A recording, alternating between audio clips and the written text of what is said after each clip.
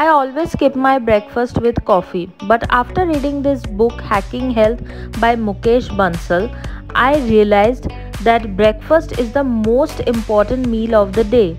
So now I don't skip my breakfast and I eat healthy salad for breakfast. Not only I changed my eating habits but also I changed my lifestyle. Now I daily do my workout and I feel motivated. Guys, it's a life changing book. I highly recommend this book to read and change your unhealthy lifestyle.